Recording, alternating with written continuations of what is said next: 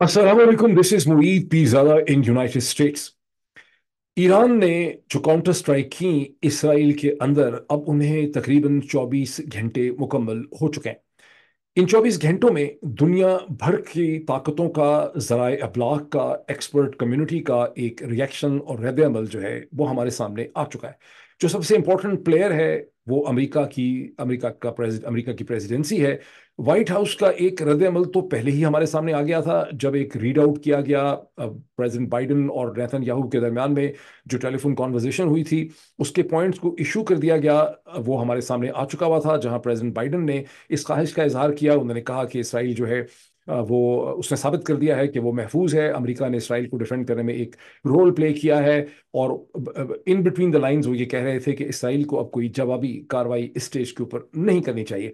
तहम उसके बाद से अमेरिका के वाइट हाउस के स्पोक्स पर्सन का अमेरिकन मीडिया के साथ उनका इंटरेक्शन हुआ है। एबीसी के साथ, एक और चैनल के साथ भी, जिसमें उन्होंने वाजे तौर पर यह कह दिया है कि इस स्टेज के ऊपर अमेरिका ये सपोर्ट नहीं करता कि इसराइल अगर कोई जवाबी कार्रवाई ईरान के खिलाफ करेगा तो उसे, वो उसको फिर इसराइल को खुद ही करनी पड़ेगी, उसे अमेरिका की सपोर्ट हासिल नहीं होगी। जी सेवन कंट्रीज़ की जो मीटिंग प्रेसिडेंट बाइडेन ने बुलाई थी, वो एक वर्चुअल मीटिंग यानी मीडिया वीडियो कनेक्शन के ज़रिए, वो एक वीडियो प्लेटफॉर्म्स के ज़रिए वो virtual meeting in important G seven countries की हो गई है। और जी सेवन कंट्रीज़ की इन मीटिंग के बाद जो एलामिया इशू किया गया है उसमें ईरान के ऊपर ये ज़ोर दिया गया है कि ईरान सूरत हाल को बढ़ावा ना दे, इस सिचुएशन को एस्केलेट ना करे। लेकिन किसी भी किस्म की काउंटर स्ट्राइक के हमत अमली की तरफ़ वहाँ पर इशारा नहीं किया गया। अगर आप अमरीकन एक्सपर्ट कम्युनिटी को पढ़ते हैं, इसराइली एक्सपर्ट कम्युनिटी को पढ़ते हैं, अमरीकन जराए अबलाग को पढ़ते हैं और रूस, चीन, सऊदी अरब और मुख्तलिफ़ दुनिया का जो अब तक आपके सामने रद्द आया है, उसको देखिए लग रहा है कि सभी ये कह रहे हैं और सभी ये तो करते हैं कि इसराइल जो है अब ईरान की इस काउंटर स्ट्राइक के जवाब में कोई काउंटर स्ट्राइक नहीं करेगा। तहम मैं आपको ये असर्ट करता हूँ कि इसराइल यकीनी तौर पर ईरान की इस काउंटर स्ट्राइक के जवाब में काउंटर स्ट्राइक करेगा। लेकिन ये एक्सप्लेन करने के लिए मैं आपको एक पूरा बैकग्राउंड इसका समझाना चाहता हूँ। एक बहुत इंपॉर्टेंट क्वेश्चन जिसकी वजह से मैं ये वीलॉग कर रहा हूँ, जो इसका उनवान भी है, वो सबसे पहले मुझे उसे एड्रेस करना है। और वो क्वेश्चन ये है कि पाकिस्तान की ज़रा अबलाग की जो स्पेस है, पाकिस्तान का जो सोशल मीडिया की स्पेस है, उसमें बहुत बड़ी तादाद में लोग ये इल्ज़ाम लगा रहे हैं, या ये महसूस करते हैं कि ईरान ने जो काउंटर स्ट्राइक इसराइल के अंदर की हैं, ये एक तरह की नूरा कुश्ती है, ये एक ड्रामा बाजी है। ना सिर्फ़ ये कि आम आदमी जो चलते फिरते लोग हैं नौजवान लोग जो हैं, उनमें से बहुत से लोग ऐसा समझते हैं पढ़े लिखे लोग, लेकिन बहुत से पढ़े लिखे लोग भी ये समझ रहे हैं। सो मच सो, कि पाकिस्तान की आर्मी के सीनियर तरीन रिटायर्ड ऑफिसर्स जो हैं उन्होंने भी इस किस्म के कमेंट्स मुझसे शेयर किए हैं, या मैंने ऐसे कमेंट्स देखे भी हैं एक से ज़्यादा लोगों के, कि वो समझ रहे हैं कि ईरान ने ये क्या ड्रामा किया, ये किस किस्म की नूरा कुछ की। तो मैं इसी हवाले से आपको थोड़ा सा एक्सप्लेन करना चाहता हूँ कि ये लोग ऐसा क्यों सोचते हैं। इनके पास बहुत अच्छा जवाब है ये सोचने के लिए। ये इसलिए सोचते हैं कि इसराइली डिफेंस फोर्सेस ने खुद ये बताया कि तकरीबन साढ़े तीन सौ प्रोजेक्टाइल्स जो हैं, वो ईरान ने इसराइल के ऊपर फायर किए। जिनका हिसाब किताब ये है कि उसमें से 180 या 185 जो हैं, वो ड्रोन हैं अनमैन ड्रोन्स हैं। उसमें 36 जो है, बताया जाता है कि बैलिस्टिक मिसल्स हैं और 120 उसके अंदर जो है वो क्रूज मिसल्स हैं। लेकिन दूसरी तरफ़ से कहा यह जा रहा है कि उससे सिर्फ़ कोई 12 या 15 लोग ऐसे हैं जिनको जहनी तौर पे एक ट्रॉमा हुआ, जिन्हें हॉस्पिटल में आना पड़ा, उनको कंकशन हुई, उनको साइकोलॉजिकल इम्पैक्ट था, कोई उसमें से शदीद जख्मी नहीं हुआ। एक बच्ची जिसकी उम्र, जो अरब लड़की बच्ची है, फ़लस्तनी बच्ची है इसराइल में कहीं पे उसके घर के ऊपर या बाहर शापनल उसको लगे, उसके सर के ऊपर चोटें थी, लेकिन वो भी कोई बहुत जानलेवा नहीं थी। फिर ये भी कहा जाता है कि इसराइल के एक बेस के ऊपर मिसाइल अटैक हुआ, लेकिन वो बेस बहुत जल्दी ऑपरेशनल हो गया। वहाँ पर कोई बहुत ज़्यादा नुकसान जो है, उस बेस पे नहीं पहुँच सका। So in other words Israeli defence forces का क्लेम यह है, जिसे बैकअप करते हैं अमेरिकन सोर्सेज वो ये कहते हैं कि निन्यानवे फ़ीसद नाइन्टी नाइन परसेंट जो इस जो ईरानी मिसल्स हैं बेलिस्टिक हैं, या क्रूज हैं, या जो ड्रोन के म्यूनिशंस हैं, उनको तबाह कर दिया गया, उनको रोक लिया गया, वो कोई नुकसान जो है, वो नहीं पहुँचा सके। जब इस सूरत हाल को पाकिस्तानी माइंड्स देखते हैं, वो कहते हैं, कोई नुकसान ही नहीं हुआ तो ये एक गेम है, ये एक ड्रामा किया गया है। यकीनी तौर पे ये एक गेम है, इसमें कोई डिनाइल नहीं है, लेकिन ये गेम एक बड़ी सीरियस स्ट्रेटिजिक गेम है। ये इसराइल और ईरान के दरमियान एक बड़ी सीरियस किस्म की एस्केलेशन है। ये एक स्ट्रेटिजिक एस्केलेशन है, जो किसी भी डायरेक्शन में जा सकती थी, और इसराइल इस पर डेफिनेटली रिस्पॉन्ड भी करेगा, जैसा कि मैंने इसके आउटसेट में कहा। हमें देखना ये होगा यहाँ पर और मैं कुछ आपको इसकी इंडिया और पाकिस्तान की एग्जांपल्स में भी मैं यहाँ पे आपको देता हूँ, जिनको जहन में रखना बहुत ज़रूरी है। इनफैक्ट पाकिस्तानियों के लिए जब उस एग्जांपल को हम लेकर आएँगे तो सूरत हाल को बहुत बेहतर तौर पे समझा जा सकता है।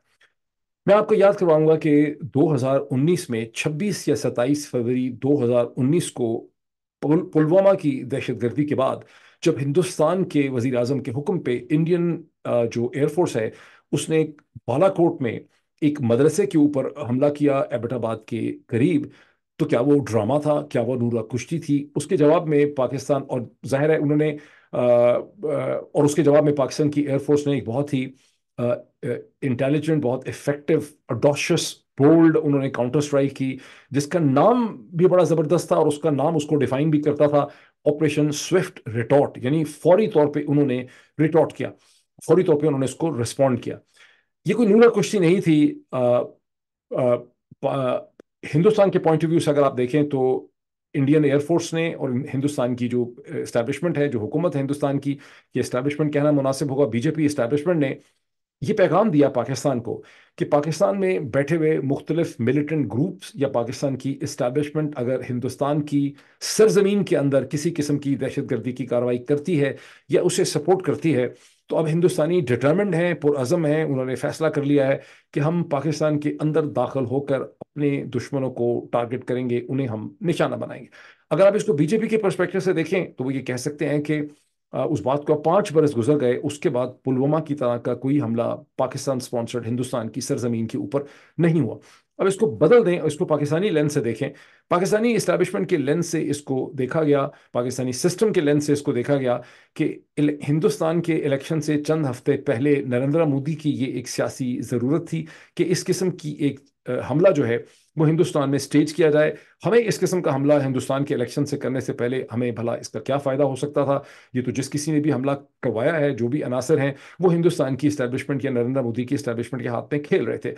पाकिस्तानी इस्टेब्लिशमेंट के पॉइंट ऑफ़ व्यू से इसको देखा गया कि ये आ, ये एक हिंदुस्तान की तरफ़ से एक स्ट्रेटिजिक रीसेट करने की कोशिश की गई है। यानी हिंदुस्तान पाकिस्तान के दरमियान में एक नई नॉर्म एक नई नॉर्मेलिटी को इस्टेब्लिश करने की कोशिश की गई है। और जहाँ हिंदुस्तानियों ने अपना अज़म और डिटर्मिनेशन का मुजाहरा किया, पाकिस्तानियों ने अपना अज़म पीएफ में ये शो किया कि हम में कैपेसिटी भी है, हम में विल भी है और हम बहुत ही अडोप्टिटी के साथ हिंदुस्तान के अंदर टारगेट्स को सेलेक्ट कर सकते हैं, उसे निशाना बना सकते हैं। लेकिन ना हिंदुस्तान ने मदरसे को एक्चुअली टारगेट किया, वो कि पाकिस्तान के अंदर जिस तरह से एक डिस्कोर्स बनाया जाता है, वहाँ ये मशहूर कर दिया गया कि हिंदुस्तानी एयरफोर्स बड़ी इनकॉम्पिटेंट थी।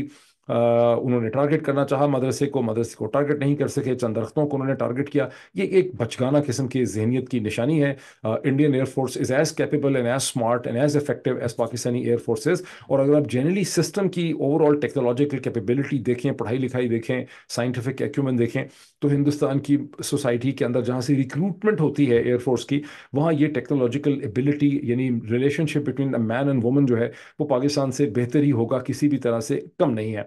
और तो बहरहाल उन्होंने टारगेट नहीं किया, मदरसों को वो नहीं चाहते थे कि कोई ज़्यादा जानी नुकसान हो। पाकिस्तान की साइड से भी टारगेट्स को सेलेक्ट किया गया। ये दिखाया गया कि हमें कैपेसिटी भी है विल भी है, हम ये कर सकते हैं, लेकिन किया नहीं गया मैसेज कन्वे कर दिया गया। सो पाकिस्तान ने मैसेज कन्वे किया कि हम आपको बर सगीर में एक स्ट्रेटेजिक रीसेट जो है, वो नहीं करने देंगे। अब इस चीज़ को अपने जहन में रखें और अब ये देखें कि नेतन याहू क्या अचीव करना चाहते थे और ईरान जो है, वो क्या अचीव करना चाहता था। नेतन याहू के चार किस्म के यहाँ पे कम अज़ कम गोल थे। एक उनका गोल इसराइल की डोमेस्टिक पॉलिटिक्स को कंट्रोल करना था। दूसरा गोल उनका ये है कि वो अपने एलाइज की मदद हासिल करना चाहते हैं ईरान के ख़िलाफ़ और इसराइल के इमेज को, जहाँ पे इसराइल को एक एग्रेसर के तौर पे देखा गया, वहाँ पर वो एक इसराइल को दोबारा से विक्टम के तौर पे इस्टेब्लिश करना चाहते हैं। तीसरा ये है कि उनको पैसे चाहिए। चौथा ये है कि उनको टेक्नोलॉजी ट्रांसफ़र चाहिए थी। ठीक, अभी उनको सब चीज़ें मिलती हैं, नहीं मिलती, मैं उसके ऊपर आता हूँ। ईरान ने क्या अचीव किया है इसमें? नेतन याहू को, मैं आपको बताता हूँ कि नेतन याहू ने क्या अचीव किया या नहीं किया। लेकिन ईरान ने इस सूरत हाल में क्या अचीव किया है? ईरान ने सबसे पहले ये बात साबित कर दी है कि उसने अपने डिटरेंस को मेंटेन रखा है, चूँकि उसकी एम्बेसी पे हमला, उसकी धरती, उसकी सरजमीन पे हमला था। उन्होंने ये बात वाजे कर दी है कि अगर हमारी धरती, हमारी सरजमीन पे कोई हमला होगा तो हम में कैपेसिटी है और हम में अज़म है कि हम उसका जवाब दे सकते हैं। दूसरी चीज़ ये है कि उन्होंने इस कार्रवाई से जो उन्होंने साढ़े तीन सौ मिसल और बेलिस्टिक क्रूज वगैरह दागे इसराइल के अंदर, उन्होंने इसराइल के सामने इसराइली डिफेंस फोर्सेस और इसराइली इस्टेब्लिशमेंट को उसकी वुलनेबिलिटी का कि अपने आप को बहुत ज़्यादा महफूज ना समझें। क्योंकि इसराइल का जो बहुत बड़ा एक पैराडाइम है वो ये है कि इसराइल नाकबिल तस्खीर है और उन्नीस सौ तिहत्तर की जो अरब इसराइल जंग है, उसमें इजिप्ट की फोर्सेस ने जब सीनाई के डेजर्ट को क्रॉस किया गालबन इसको बारलेव डिफेंस लाइन कहते थे बारलेव उसे जब उन्होंने क्रॉस कर लिया तो उन्होंने इसराइल को एक सेंस ऑफ़ इनसिक्योरिटी दी, जिसकी वजह से बाद में इसराइल और इजिप्ट के दरमियान में कैम्प डेविड अकॉर्ड के ज़रिए अमेरिका ने सबसे बड़ा जो दुश्मन था इसराइल का, उसको न्यूट्रलाइज किया। ईरान ने इसराइल को ये एहसास दिलाया है कि आप स्ट्रेटिजिकली वुलेबल हैं। एक्सपर्ट्स ये कहते हैं कि गुजशत दस पंद्रह बरस में ईरान ने अपनी मिसल एंड रॉकेट कैपेबिलिटी में बहुत ज़्यादा डेवलपमेंट की है, टेक्नोलॉजिकल इनोवेशन की है। आज वो एक आर्म्स एक्सपोर्टर है इस हवाले से। सो बच्चों की रूस जो है, वो उससे भी बाज टेक्नोलॉजिकल कंपोनेंट्स जो है, वो हासिल कर रहा है। और आज उसके पास ऐसे मिसाइल हैं जो पे लोड्स इफ़ेक्टिव पे लोड्स को कम अज़ कम 1200 मील तक उसे कैरी कर सकते हैं, जिनका इसमें इस्तेमाल करके दिखाया गया। तीसरी चीज़ जो ईरान ने यहाँ पे हासिल की है कि ईरान ने मुस्लिम दुनिया की एक डिसाइसिव लीडरशिप हासिल कर ली है। ये डिसाइसिव लीडरशिप जो है, ये पैलेस्टीनियंस की भी है, ये अरब स्ट्रीट की भी है, ये सुन्नी मुस्लिम वर्ल्ड की भी है और ये एक बहुत बड़ा मुआवजा है कि एक शिया ताकत, हालाँकि शियों बहुत माइनॉरिटी हैं मुस्लिम मुस्लिम एक मसलक के अंदर, लेकिन एक शिया मुल्क जो है, वो पूरी सुन्नी अरब मुस्लिम वर्ल्ड की उसने लीडरशिप यहाँ पर क्लेम कर लिया है और ये साबित कर दिया है कि ये बाकी जितने भी अरब किंगडम्स शेख्स और रूलर्स हैं, ये बेसिकली टिन पॉट हैं, ये मगरब के दस्ते नगर पे हैं, या क्या है, ये मगरब के हाथ में खिलौने हैं और उन्होंने अपनी लीडरशिप को इस्टेब्लिश किया।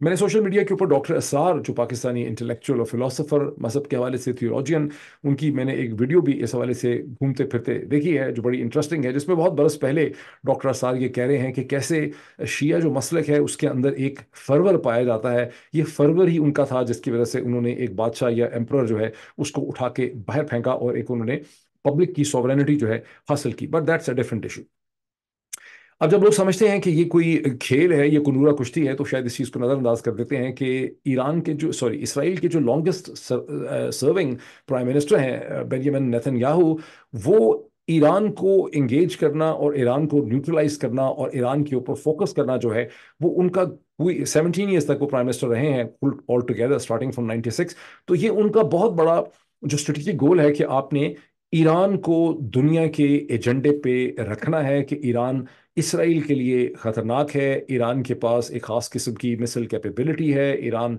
न्यूक्लियर पेलोड्स भी बना रहा है, बना सकता है और अगर बना लेगा तो उसके पास डिलीवरी वेपन जो सिस्टम है और उन्होंने मगरबी दुनिया के स्ट्रेटिजिक एजेंडे के ऊपर ईरान को प्लेस करना है। उसमें एक बार फिर वो यहाँ पर आपको कामयाब नज़र आते हैं। अब आप ये देखिए कि अब तक का जो रिस्पॉन्स मैं पहले थोड़ा सा उसका एक दफ़ा ज़िक्र कर दूँ। फिर मैं आता हूँ कि नेतन ने असल में गेन यहाँ पे किया क्या है।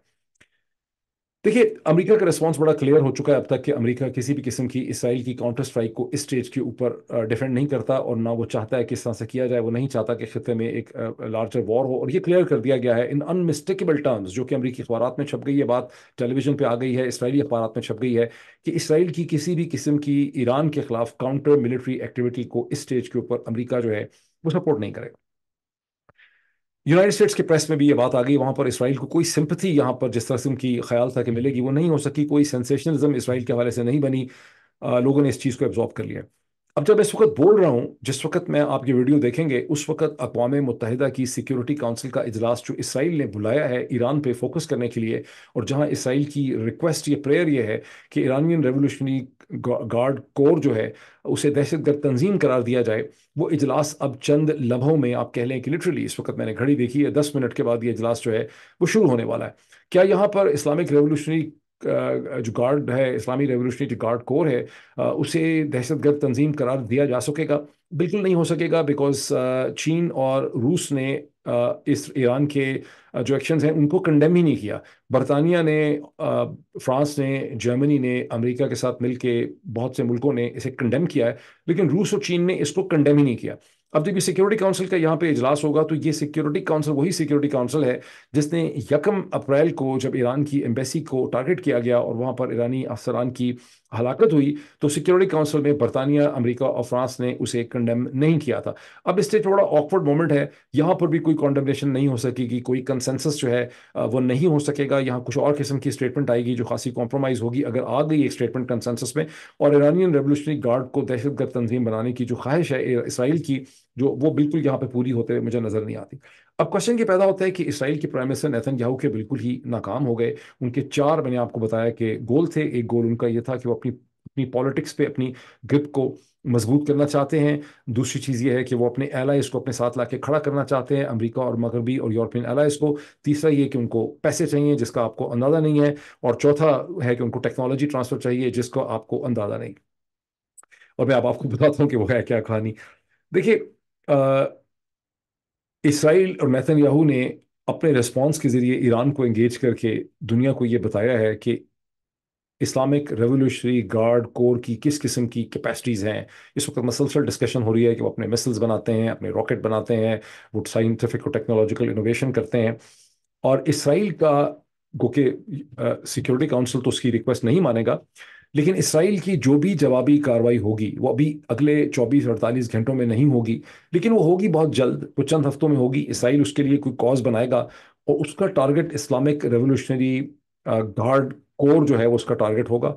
उनकी कोई टेक्नोलॉजिकल फैसिलिटीज़ या ईरान की कोई न्यूक्लियर साइट जो है, वो उसका टारगेट हो सकती है।